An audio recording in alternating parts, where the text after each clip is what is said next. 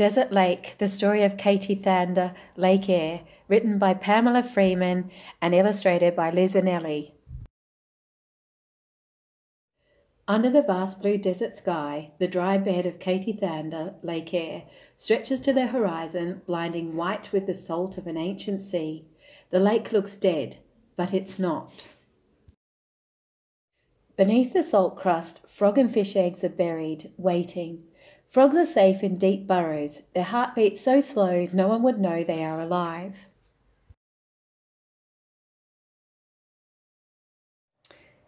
But far up north, clouds are gathering, thunderheads and rain clouds.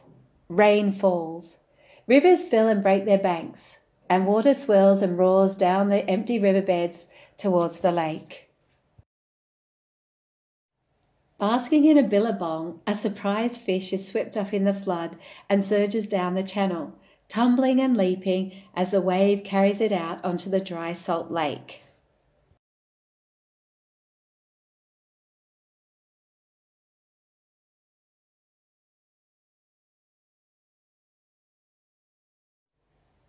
The water touches a buried frog.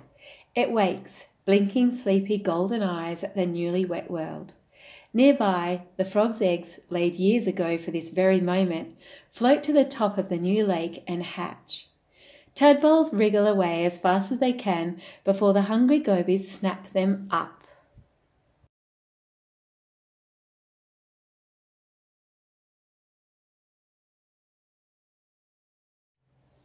Far, far away, pelicans lift into the sky, hundreds of them, heading for the lake to nest. Their huge wings feed them across the great red desert to the one spot where their babies will be safe from dingoes and foxes, the new islands in the middle of the lake. The skies above the lake are alive with birds. Shrieking gulls bring fish and insects to feed their babies, who are in woven grass nests squawking for food. Two pink eared ducks whistle to their ducklings to follow close, safe from the wedge tailed eagle circling high above. As the desert flames red and gold with sunset, tiny hopping mice emerge from their burrows on the lake shore, while the dragon lizards crawl wearily under their stones, safe from the cold night air.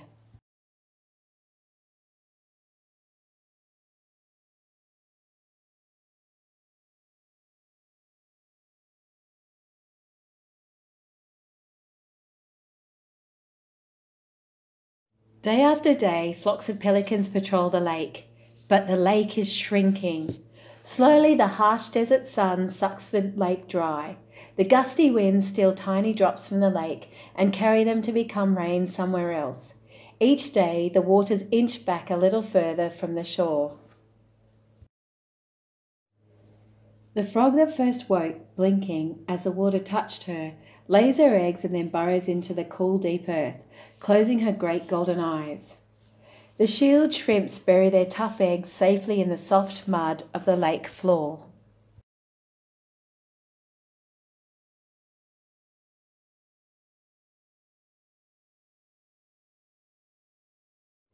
The pelican chicks are fully fledged, strong and eager to take to the uplands of the air, to ride the high winds to the great blue ocean. One day they will come back to raise their own chicks here. Below them, other birds leave too avocets and gulls, ducks and swans. The desert air is quiet. The lake that thrummed with life is still, but some stay to keep watch over the lake. Strong sun has baked the salt on the lake bed into a crusty roof over the eggs and animals hiding safe below. Until the next time, the rain falls.